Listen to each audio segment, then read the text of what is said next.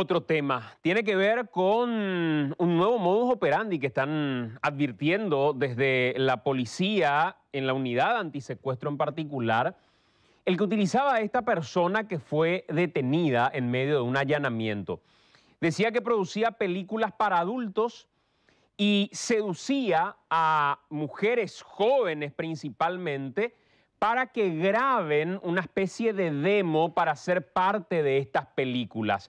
Posterior a esa grabación, ya empezaba la extorsión a estas mujeres diciendo que si no pagaban ciertos montos o si no se sometían inclusive en algunos casos sexualmente, iban a publicar estos videos o estas fotografías.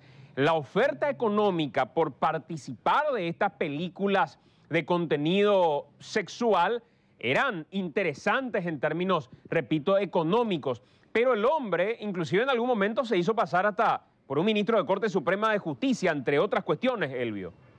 Sí, por ahora un detenido. Se trata de Ignacio Daniel Sosa, 40 años, y la policía sospecha que él formaría parte de un esquema de extorsionadores carcelarios que efectivamente se dedicarían a la captación de mujeres jóvenes. Estamos hablando de un target de 18 a 20 años a través de las redes sociales ofreciéndole pago incluso en dólares para la grabación, para la realización de estos videos de alto contenido para adultos.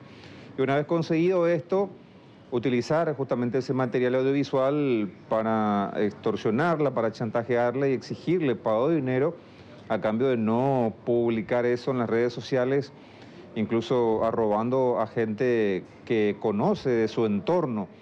En ese sentido, justamente también eh, utilizaban perfiles falsos. Y uno de ellos llamaba la atención, el ministro de la Corte, César Garay Sucolillo, qué tendría que ver o para qué, a modo de qué, pero bueno, utilizaban este tipo de cuestiones para ponerse en contacto, tal vez para despertar un poco de, confianza, cosa que sí lo han conseguido en algunos de los casos, y se cree que incluso existirían más víctimas, solo que eh, eh, tendrían temor para denunciar. Pero escuchemos primero al comisario Mario Vallejo, que es el subjefe de la unidad antisecuestros, que es la que intervino.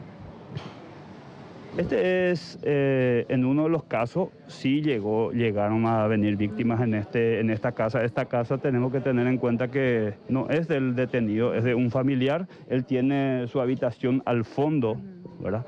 Prácticamente la casa está vacía sin ocupante, pero en el fondo tiene una habitación donde él usa como dormitorio. ¿Se llegó a utilizar también el perfil de un ministro de la Corte, de César Garay Colillo, comisario? Tenemos eso también, ¿verdad? En la causa investigada, ¿verdad? De que hay varios perfiles, hay varios perfiles que nosotros vamos a dar, socializar posteriormente para que la gente pueda tener en cuenta. Y también hablamos con el fiscal que encabezó el procedimiento, Elvio. Sí, el fiscal antisecuestro Joel Casal, quien, como les decía, eh, estima que existen más víctimas de esta persona detenida, pero que por temor no se animan a, denunciar hasta ahora.